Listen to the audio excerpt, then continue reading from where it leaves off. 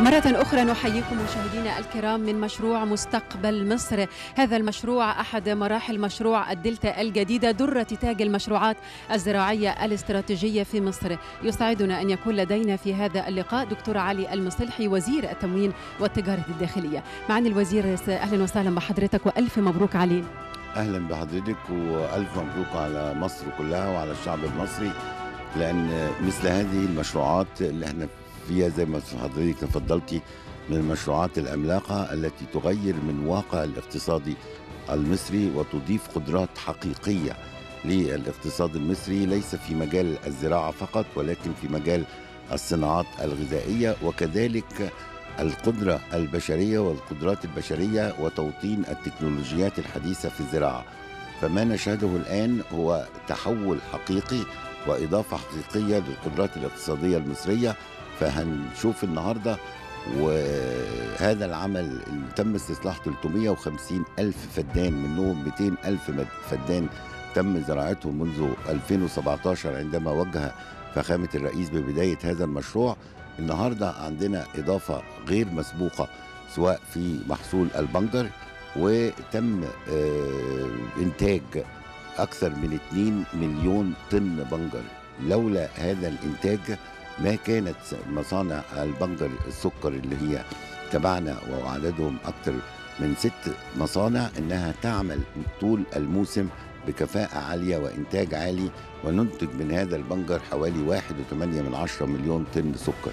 بالإضافة إلى النهاردة باكورة إنتاج القمح من مشروع مستقبل مصر تم زراعة حوالي 40 ألف فدان مما يضيف حوالي 120 ألف طن إلى محصولنا في جمهورية مصر العربية. طيب دكتور علي المصلحي هو مسؤول حكومي مخضرم خدم في مختلف المواقع التنفيذية في وزارة التموين على فترات مختلفة. هل الصعوبات اختلفت معالي الوزير يعني على مدار السنوات الماضية؟ وهل تغيرت أو اختلفت معها أيضا فلسفة الدولة في التعامل معها وإزاي؟ اولا أشكرك طبعا ده سؤال مهم جدا ولكن هحاول أختصر إجابته.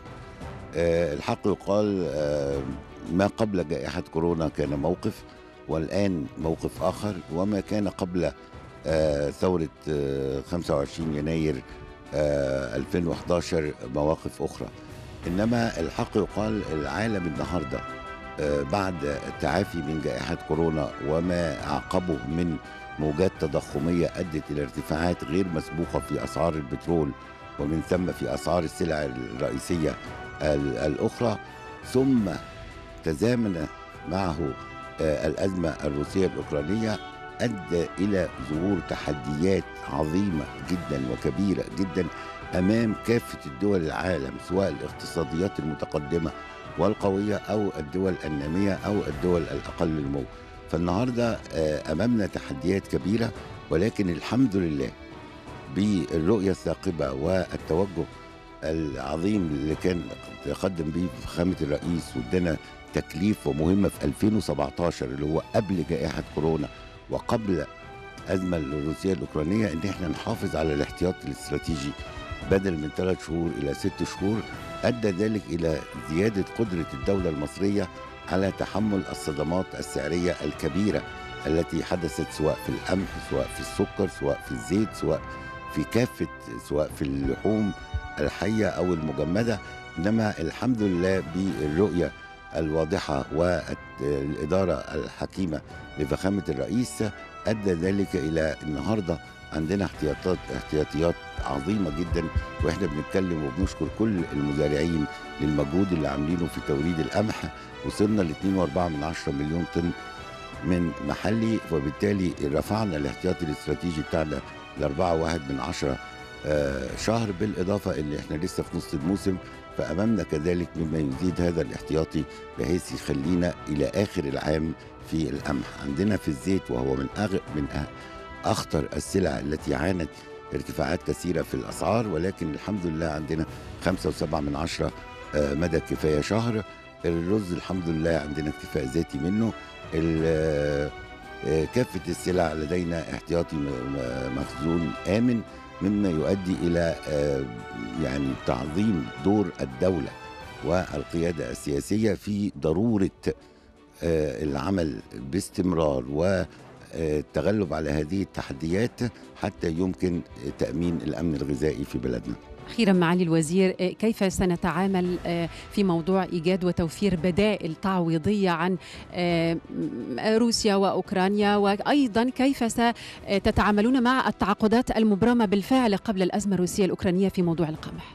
بشكرك جدا ولكن لازم نعلم إن إن هذه ما نسميه قوة قهرية وجود حرب حقيقية ما بين روسيا وأوكرانيا ومشاركة أوروبا ودعم أمريكا لأوكرانيا وكل ذلك أدى إلى يعني أمور غير مسبوقة في سلاسل الإمداد وعدم قدرة دول غنية جدا بالمحاصيل الزراعية القدره على التصدير أدى ذلك إلى أهمية وتوجيه سيادة الرئيس بأهمية تنوع مصادر القمح فالنهاردة عندنا أكثر من 23 مصدر سواء المصادر الأوروبية سواء أمريكا سواء أستراليا وبنناقش معاهم سواء الهند سواء كافة الدول. والحمد لله آه تحوط موجود هو القمح المحلي المصري اللي بقول لحضرتك إن شاء الله نصل السنة دي إلى آه تسويق 5 مليون أو أكثر من 5 مليون طن مما يؤدي إلى آه قدرتنا على التحرك بهدوء وسط مثل هذه التحديات الكبيرة.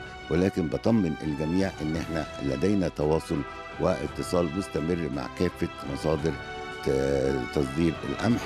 ولابد أن نشكر كل الدول وخاصة اللي بنتعامل معاها سواء روسيا أو أوكرانيا أو فرنسا أو رومانيا أو أستراليا أو أمريكا أو كافة هذه الدول فعلا لم تتأخر في أي تعاقدات تم التعاقد عليها واستمر التوريد إلى جمهورية مصر العربية.